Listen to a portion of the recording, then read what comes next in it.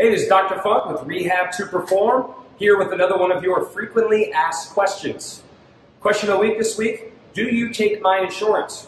I think a lot of people will look at Rehab 2 Perform, see that it is more niche focused and that it caters specifically to orthopedic and sports related injuries, um, and automatically think that we are either out of network or that we don't accept insurance.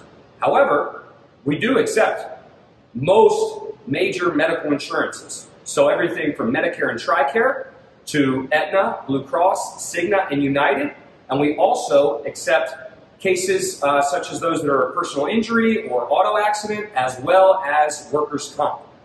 Best thing about it too is when you call in to our front desk, they will take your information and they will actually verify your benefits before your first appointment. So in an environment where we are trying to be more transparent about healthcare costs, you should have a very, very good idea of your financial responsibility during your time with us. So if you want to come to PT, yes, most likely we accept your insurance and our front desk would be happy to help you out.